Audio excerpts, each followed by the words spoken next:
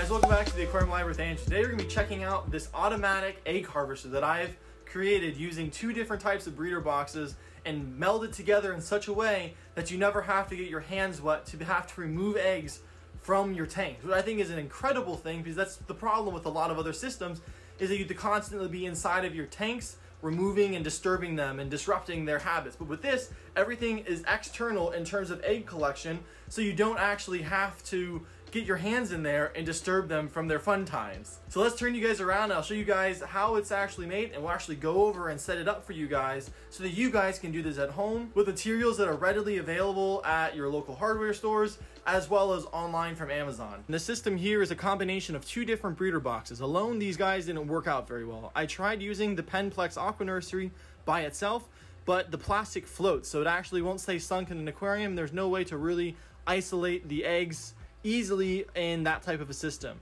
And obviously with a Fluval breeder box, you have the normal grate that goes along the bottom that you can, but I just found that it wasn't enough space for my CPDs to be able to spawn continuously and me to be able to harvest off eggs. And I still had the same problem where I had to come in here and either physically remove the parents or actually remove the grating and be able to try to siphon up all the eggs off the bottom. So this way, the eggs that are spawned in here, and this works for any type of egg scattering fish that doesn't have adhesive eggs. They have to be non-adhesive for this to be able to work.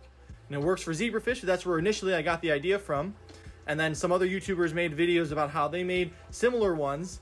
And I was like, hey, if they can do it, I can do it. So I tried it again and I actually got this to work. So the eggs from the CPDs or zebra danios or whatever you have that are non-adhesive will get spawned in this area you can see air that's bubbling up through here, and that's creating a draw on the system as the air is rising, water is also rising with it. So the eggs get spawned in here, they get sucked down to the bottom, they get sent across and up into the breeder box. And because of the weight of the eggs, they will actually settle out along the bottom here, as you can see, and they don't actually go over the outflow up there because of their density. I had a grate up there initially that was very, very fine, and you can sort of see how fine it is, that it is super, super fine and it was just ended up clogging and almost overflowing the system and I never found any eggs up there so it wasn't necessary. And so this system works great and I have collected hundreds and hundreds of eggs at this point uh, from my CPDs and now that you guys seen how it actually works we're gonna go over to the tabletop and I'm gonna show you guys how to make it. And the beauty with this system is that you can easily move it from one tank to the next to the next. And I could take this down to my 40 gallon breeder that I have down here or I could take it out to my 27 gallon cube aquarium and be able to spawn fish in a show tank without actually having to remove the parents, which I think is a phenomenal thing to do. Here we have before us everything that we're going to need for this project. We're gonna need the two different breeder boxes, the Fluval slash Marina breeder box. I'm using the medium size. You could use the large size or the small size. I don't think either one of those would be problematic if that's what you have around. As well as the Penn Plex breeder box. From these two, you're going to need the grate for the bottom of the Penn Plex, but you're not going to need the grate for the Fluval breeder box. You're going to want to remove the egg catching area or fry catching area off of the Penn Plex, as well as remove the bottom pieces, just so that you only have this little nub down here to be able to attach in our tubing and hosing that we will need. You're also going to need some sort of spawning material, though I'm going to experiment to see if we actually need this. We're also going to need some sort of elbow as well as a drill bit we can attach our air line directly into there so that it can bubble up that way. We're also going to need some half inch tubing. We're also to need some scissors to cut that tubing.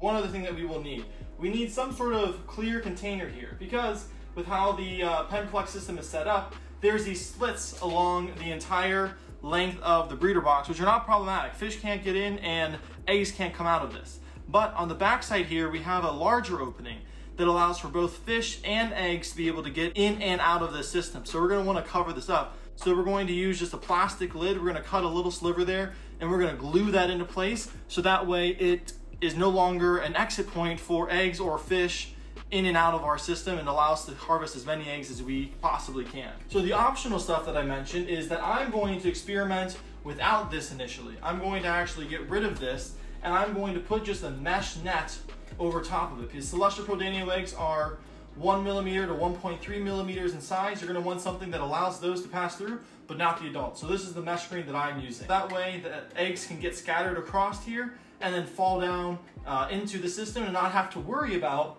all of the yarn and whatnot getting in the way. So to that end, I'm going to be using some super glue and some flex glue because that's what I have on hand to make it.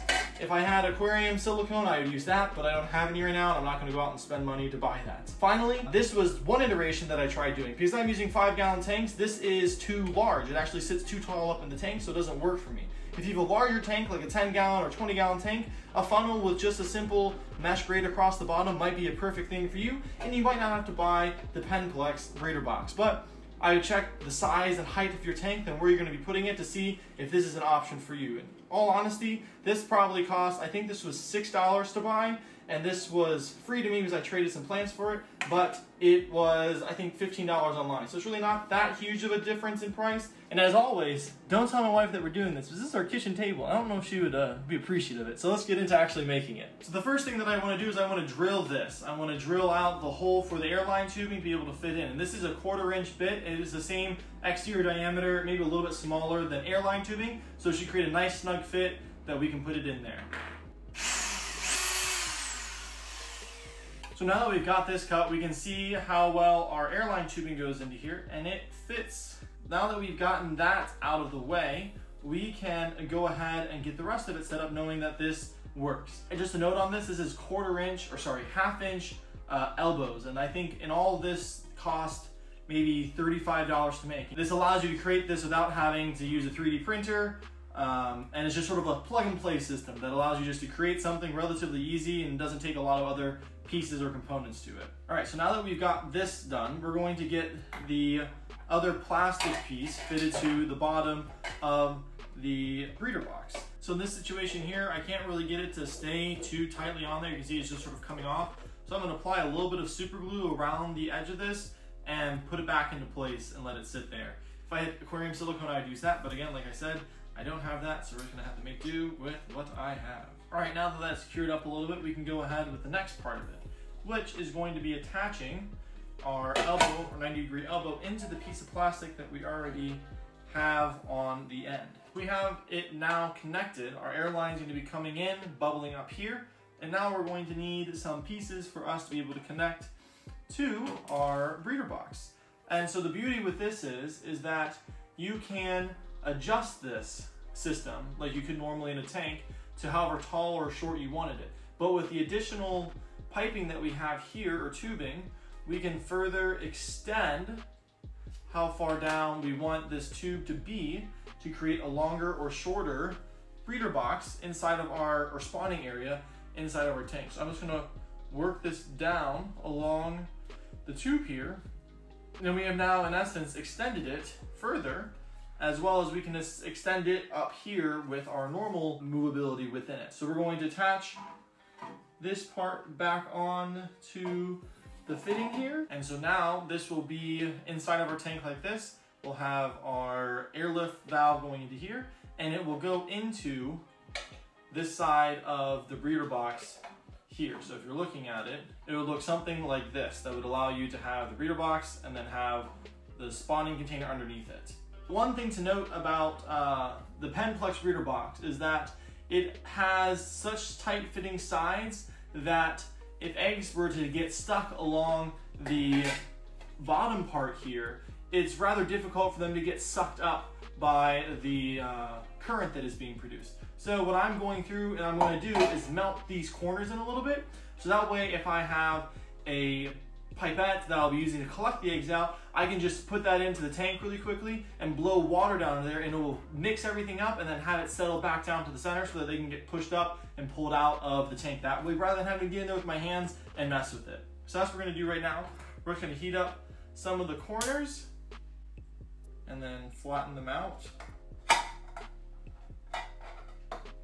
And this little bit of the corners getting heated up and mashed down a little bit isn't going to cause any problems with adults or eggs coming out of here because it's going to be such a small gap that it should be extremely negligible. So we're going to make sure that now it uh, fits into here. And I recommend doing this one way or the other, regardless if you are going to be using this or just normal stuff.